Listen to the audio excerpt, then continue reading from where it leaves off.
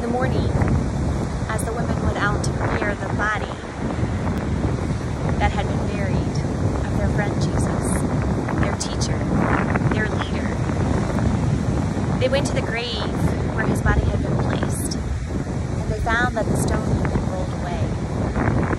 They couldn't understand what had happened. And then a man shining in white saying he is not here.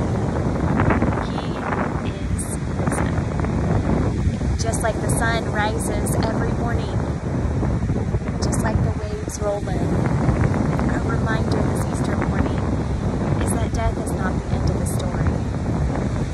Shadows part, darkness and storms fade, and the light comes again. Thanks be to God for the women who went do the messy work of preparing a body and discover the miracle of resurrection.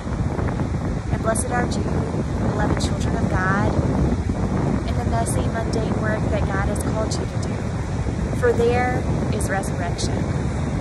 For there is hope.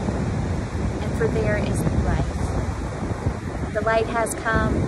Thanks be to God, He is risen. He is risen indeed.